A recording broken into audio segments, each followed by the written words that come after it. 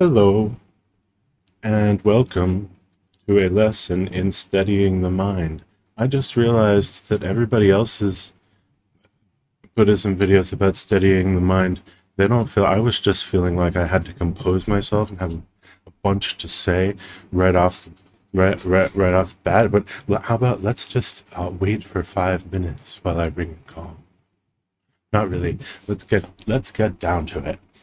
I'm, I'm going to teach you how to steady your mind. This is not easy. First thing about steadying the mind, check out how difficult it is. Your mind is rather unsteady, usually. Minds go all around finding out all different stuff. That's not even a problem. It's not even, that's how minds are supposed to work, right? It's not like we're going to fix the mind into being steady in general. Okay, we're just gonna, when it's useful, when we want to sometimes, learn how to study the mind, even though usually what it does is be curious and look after things, right? Stuff happens and the mind's like, ooh, oh, hmm, what, what's that? All right, so, um, and one of the basic ways that your mind does that is by habituating, by getting bored right? So another way to say this is that we're going to uh, overcome boredom and and focus the mind in spite of boredom. Because boredom um, would incline the mind to looking all around at all kinds of stuff. All right so to steady the mind we have to deal with this problem where the mind is is uh, not wanting to be steady in general for good reason because that's what it does. Uh, it's it wants to get bored of stuff because to find out new stuff so rather than just being vague and saying we're going to attend to the breath, the breath, right? That could mean lots of things, right? And our and our tendency to investigate and to be into stuff would be like, ooh, okay, I'm I'm bored of the breath. What there's I can feel the breath down here though. Ooh, the breath. There's breath here. Breath. Oh, I can feel the breath. Breath, breath, breath, breath, breath, breath. Ooh, then the breath is affect. I can feel how the breath is affecting my elbows. Oh, all right. So rather than just the breath, we're gonna, uh, you know, like, all right, specifically the feeling when your breath comes out your nostrils. I'm gonna, you know, I'm gonna choose that the breath coming out of my nostrils and going on my upper lip. I'm gonna look out for that. All right. So that's just to be just to be clear, right? We can. I mean, we could choose anything technically, right? But and since it doesn't matter, how about specifically the feeling of the air coming out when we breathe onto our upper lips. Now, there's um, many problems. This is difficult. Or it can, it can be difficult. It can be very easy and it can be very difficult because we're just doing one simple thing, but it's also sort of against the natural nature of the mind, like the the the habitual like the way the mind is designed to hang out, right? So it's it's a simple, easy, direct, uncomplicated thing we're doing that is also could be tricky in weird ways. So because all right, uh, for one thing, the feeling of the breath coming out onto the upper lip is inconstant. It's not gonna like it's it's not gonna be as much or maybe not at all while we're breathing in, and then only sometimes you're gonna you're gonna feel it, and then and as you try to pay attention to it, it's going to seem to be less and less because you're habituating to it. It's and your and your mind will start to um, take interest in other things. Your mind will just naturally be like, okay, well, we got that. It's definitely, and it's like it's it gets bored, right? So, um, but we're trying to steady the mind upon this, upon this, upon something, upon anything. steady the mind at all. Uh, so, so um, the there's various things to avoid. Um, there's there's no trick to it. Which you just keep your mind there. But there's various things to avoid that will happen that you will try to, you will make problems. You're going to make yourself all kinds of problems. So um, one problem that you will make yourself if you're using the breath, right, is you must use You must use the un, um, the the the not the the breath that you don't choose, the the unstructured breath, the unchosen breath. Just just breathing like the way you breathe, because you will get bored, okay, and then you will start to change your breath to try to do stuff with your breath to make it interesting at all. Um, you'll start to move energy around or just breathe enough that you can feel it or so and and and to keep and you'll be like losing you're losing it right? It's because you're trying to follow the sensation and it gets and and you're getting used to it and it gets really subtle and you're trying to follow it right? So you start to be like where's my breath? And you start to like push your breath in order to have a thing to follow right? So you're like there it is. Oh i found it. Right? Okay but but don't don't don't don't you you you you want to improve your following not the not not to make it stronger right? Like don't you're not just trying to bang a drum to i mean that's one way. That's one that's one way to study the mind. Bang a drum and that's kind of the point of rock music right? Bang a drum and that'll get people's attention. But um we're trying to train the mind to uh, practice to practice well even when distracted. Uh, mind training slogan. Um, so we want to be able to steady the mind without uh, without making a ruckus. To steady the mind calmly. So uh, the unforced breath, the uh, just just the way that um, you, you, you receive the breath, right? See what it happens. See what happens with it. You don't have to make any, you don't have to do anything to make breathing happen, right? So just see what happens with the breath and see how it becomes subtle. Expect that it probably will become more subtle as you habituate to it.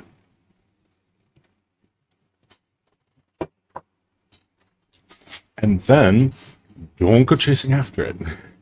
it becomes subtle, and you're like, where did it go? Where's my breath I was following? I was trying to pay attention to my breath. Where, is it? And but do not go after it. Here are two different here are two different stories I know about how to not go after it. Don't do it. Don't go after it.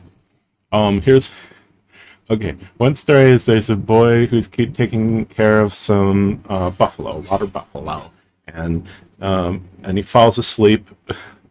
he's he's out in the woods, to the buffalo, and he falls asleep, and they're all gone. Okay. It it is not going to work if the boy tries to go after the buffalo, like roaming all over the woods trying to find the buffalo. There's there's no way. He could spend all day and try to go everywhere in the woods. It's not going to happen. So what's the boy gonna do to regather all the buffalo he was supposed to take care of. Well, the story says that what he does is he goes to the watering hole where the so all of the buffalo are gonna have to get thirsty sometime. So if you just go to the watering hole, wait there, and then you can gather each of the, know, oh, oh, you got thirsty? Okay. Gather together all of the buffalo at the watering hole. That's one story. Okay. Same idea, different analogy. The story of the guard at the city gate. The guard at the city gate just stays at the city gate. By staying right there, the guard at the city gate is able to watch what goes in and who the people going in and out of the city and keep track of what's going on. The guard at the city gate doesn't get doesn't just wander around after people when wandering around the city, because then they'd know where that one person was. But they wouldn't know what's going on in the city. So they stay at the gate watching. I don't endorse either of these. I don't. I said it doesn't have to. I said it's a boy, and then I said there's cities with guards. I just realized I don't endorse the content of these analogies, but the point is, the point is, you stay in one place and you wait for it to come to you. That's that's the trick. So and and you and and it will get lost and it will seem to get lost. You'll be like, what? Where did it go? And so you have to go. You have to. You've got a place you're waiting, like like you're waiting at this lip, and maybe you're breathing in right now, and and and it's gone. But it's going to come back there. It's going to come back, and you don't have to. Um, you don't have to roam around finding breath or making breath. Don't try to make it, the breath sensations by pushing breath, and don't um, don't try to go and and find an exciting breath to explore. Um, that we're going to make it exciting a different way. It's not that we don't. You do have to. It does have to be exciting to excite the mind, but we're going to find a different sort of excitement. Um, so the thing is, as you technically you can't technically you can't stable the mind can't become stable on on anything any of your perceptions can only become stable on a certain sort of mind created object. But um but that's sort of the sort of object that your mind can become stable on is a sort of object that emerges from a stable from you're you're you're trying to stably perceive at the same place even as the even as the actual sensations are inconstant and it doesn't it, it doesn't matter if you tried to use thoughts or um, or feelings or something in more more like mental everything all of your perceptions are mental.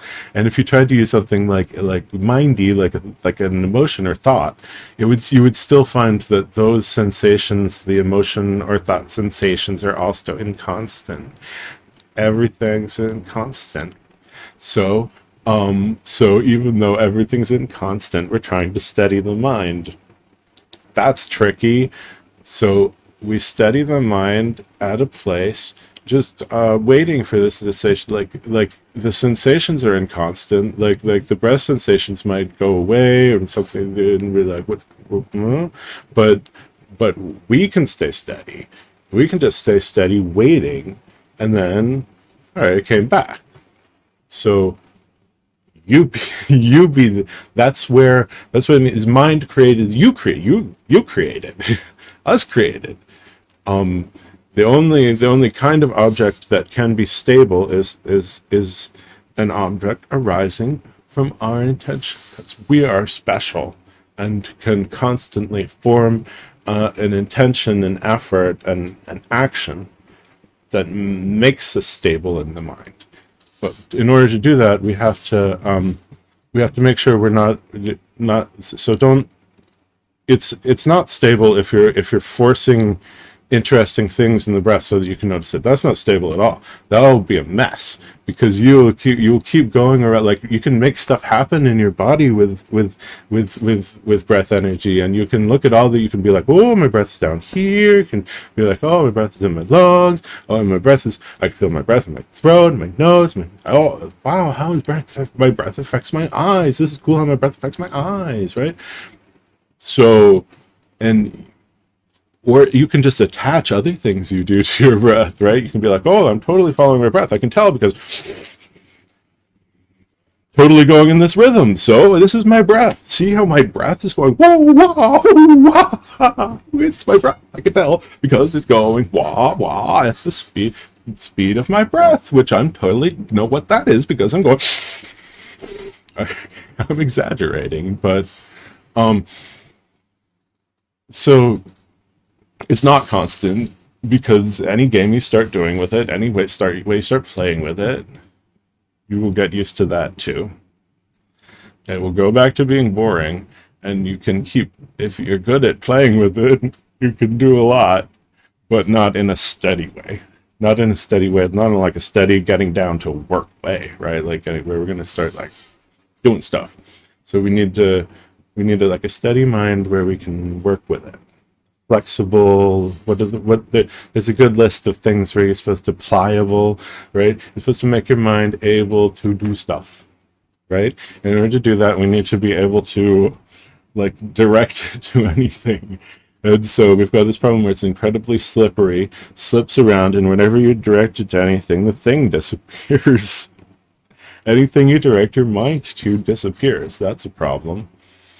So, but we're going to direct it to um, actually a mind created object. But you're going, you're not, you're not going to create the breath as in force the breath to happen.